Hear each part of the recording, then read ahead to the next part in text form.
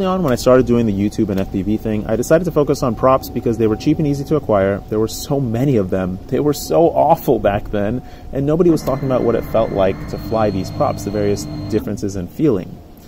As I learned about the, the FPV market and the prop market specifically, I learned how incredibly lucrative the prop market in general was, especially back then when the market was so tiny, a fraction of what it is today. At the height of their business back then, I don't know what they're doing now, DAL, Surveil Zone, Foxy, or whatever you want to call them, they were shipping well over 250, 300,000 sets of props a month. Not, not individual props, sets. That's four props.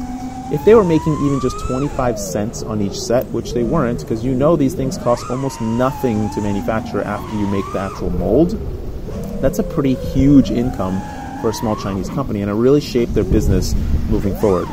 Uh, Surveil Zone, I believe, was the first company to start using the polycarbonate material to make uh, 5 inch FPV props, which I have so much thank for because uh, the props we were using before then were these glass nylon props that would just break if you looked at them too hard. So thank you so much to Surveil Zone for kicking that off.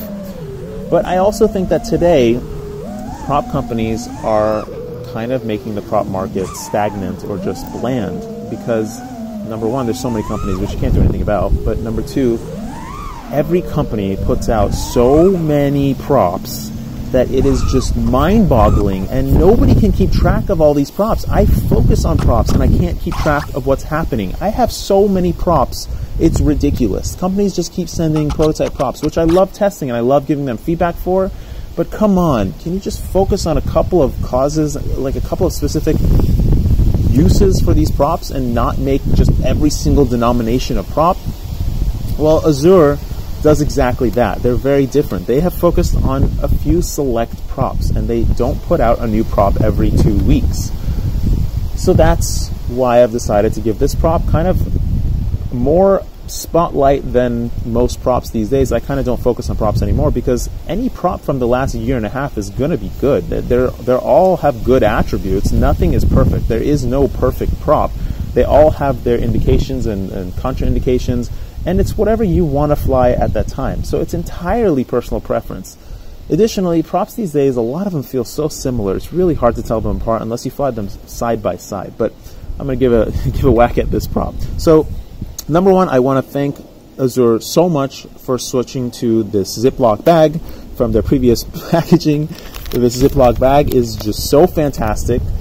I cannot explain how, I mean, I can, but I'm not going to explain how incredible it is that they switched to the Ziploc bag. I, I, I know it's stupid, but whatever. All right, so the prop comes in, or at least the, what they've sent me is these three different colors. The green color and this uh, red-orange color, which is a fluorescent sort of, and the smoke gray color. I personally think that all props should come in a smoke gray or tra- semi-translucent gray because it's the closest color to 18% gray, and if you know any photography, you know what 18% gray is. It just doesn't show up so much in video, which is really nice if you don't like props in your video feed and you just happen to be running a frame that has them or you're running low camera tilt and can't help it. Uh, I personally don't care. I actually prefer my flop, my props in view. I um, wish I had more time to do cinematic flying, but I barely have time to fly at all. But now let's take a look at the actual prop. So this is the Johnny prop. It is a 5-inch prop. It is not a 4.9-inch prop. It is not a 4.8-inch prop. It is not a 5.1-inch prop. It is a 5-inch prop. Yes, I did verify that against a lot of other 5-inch props. And it is 3.9 grams. That's a pretty impressive weight when you hold it in your hands and you feel the polycarbonate and you realize that, oh, this is not a weak prop. I am not afraid of this prop breaking, bending, causing problems of any sort of that, like anything like that. So that's that's pretty amazing right off the bat. Any prop that's this low in weight, I would be concerned about durability. Something like the uh, T-Motor T5143, it's not a very durable prop. And many other low weight props are just not durable. What you saw flying at the very beginning was this prop, and I just don't get a lot of time to fly. I, I don't have fantastic flight footage. I don't have flight footage worthy of this prop. I am I am not worthy of Johnny's quality of flight, and I don't really have a lot of time to fly. But I'm going to show you this other video that um, I'm flying this prop around, and it comes with a big disclaimer. So this park that I fly in now, it's a Los Angeles City park, and uh, drones are illegal everywhere, like all over the whole all over the whole world. And I have been kicked out of this park twice before, and both times have been from different security guards, and they just sat next to me and watched me fly, and then just asked me to leave. it's been raining like crazy lately, so they I think they realize, and I'm flying in the rain, so I think they realize that it's all mud. There's nobody anywhere. There's I'm not I can't cause any harm or problems. Nobody can even hear me, but they still kick me out because it's illegal. So I found this road on the side of the hill at the park, which I don't even know if it's in the park anymore. And I'm flying here today because they're actually using half the park for parking for a golf tournament that's in the area, whatever. And what I want to say is that I'm my heart is beating out of my chest as I'm flying here. I don't know why. I have flown in much sketchier situations and been totally fine, but in this instance, I'm actually using a new controller as well, or the QX7 controller, which I'm not used to because my other one broke. And my hands are so shaky, I, I can't even control myself. But when you look at the flight footage, it doesn't look half bad. And I'm showing, I'll tell you why I'm showing you this particular video in a minute. But let's talk about the flight performance and flight feel first. So, this prop, the first time you fly it, you notice that it is exceptionally smooth and it just has it just has a quality to it that you can't quite put into words, which I'm going to try right now.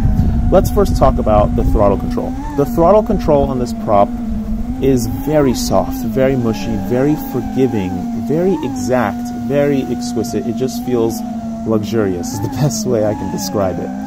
However, this is not a fast prop. It's actually a pretty slow prop. If you've flown props like the T-Motor 5143, you know that that's also not a very fast prop, and it has a really mushy throttle feel down low. This prop has a very similar mushy feel. Now, I'll talk about throttle range more a little bit later, but now let's talk about the control. Probably because it has a very soft throttle feel, it's also doing something to the control of the prop because this prop just happens to smooth out every stick input you give it. It just feels so nice to fly in the air. It does not have any kind of a sharp response at all. However, the quad does not feel unresponsive. It actually feels very responsive, but it somehow just smooths all your movements together. If you've flown firmwares or props or whatever, and your quad felt very robotic, and if you don't mix your yaw and your roll together perfectly, you get this weird frame shifting motion that looks kind of odd in video. This prop doesn't have that.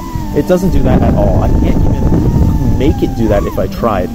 That's really the magic of this prop. The throttle control and that control smoothing. And those two together makes me understand why Johnny decided to put his name on this prop or wanted his name on this prop. It does fly really, really nice. However, it, unfortunately, not everything is beautiful. While the top speed is not very high, that doesn't really matter. We're usually not flying super fast in acro, so it's whatever. The problem is that the efficiency of this prop is just not that great. It's not bad, but it's definitely below average. And it's not so much the flight time because two, two and a half minutes is perfectly fine, fine flight time. I, I don't really expect a whole lot more.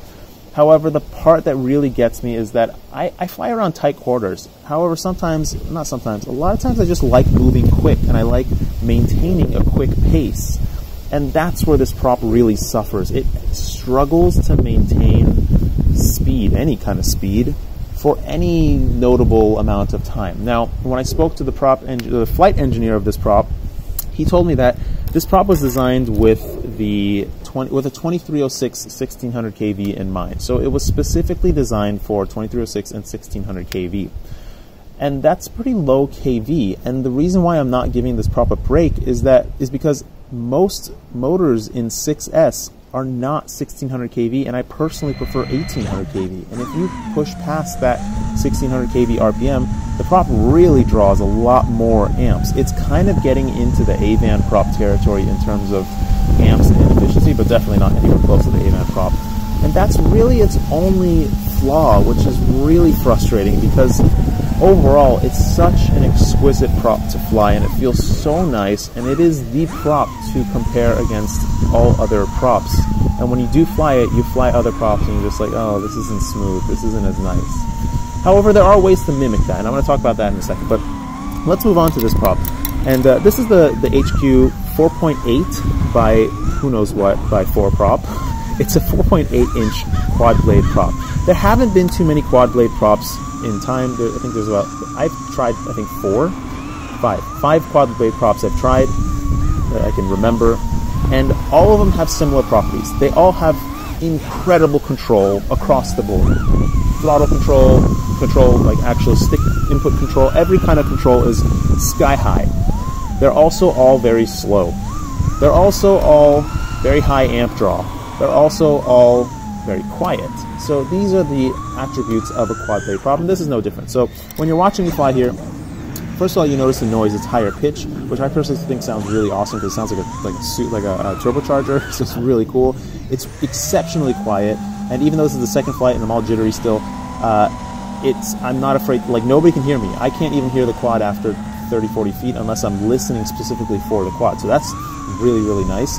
And something else you're noticing is that you're probably noticing is that I'm much much smoother with this prop. Not only because this is the second time around flying. I've flown these these these props a lot with batteries, whatnot. I've flown these props a lot. The quad blade props are just just so good at so many things. They just suck at speed and they suck at being efficient. And what I want to show here is that the flight time I'm getting on this quad blade prop is comparable to the Johnny prop. Now, I'm showing you my OSD feed as well as the flight footage, and um, I don't stop flying when the voltage alarm comes on. I kind of just take that as a suggestion. I actually wait till I feel a waver in my throttle until I stop flying. And that's when I actually land. So the landing point for each of these, I'm using the same battery on all of them. However, there I have a bunch of the same battery, and I've used the batteries back and forth across all these props. The Johnny prop is just not that efficient. It's really unfortunate. It's not so bad that you wouldn't fly it, but it's not as good as it could potentially be. So that's just unfortunate. Now let's take a look at the Gemfan 5146.6 prop yet again. So among all the prototype props, I spoke about this prop in the previous video, but among all the prototype props that I have right now, this is my preferred prototype prop, and that's for a couple reasons. So I'm going to play some flight footage for you.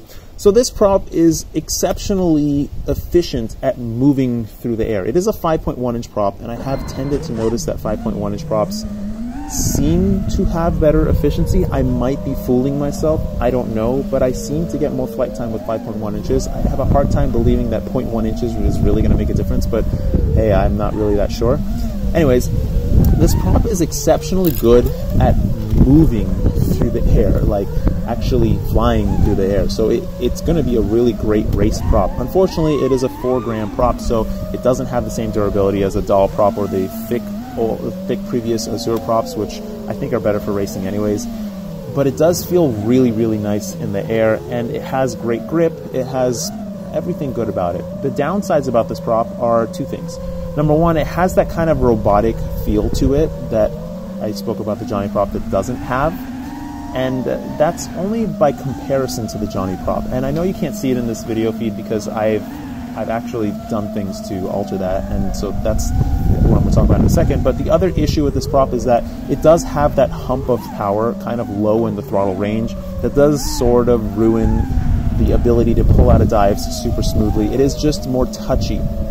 Compared to some other props, it has more power and more speed and more efficiency. It, it's really an, it's it's a, it's a surprising combination of features in a prop.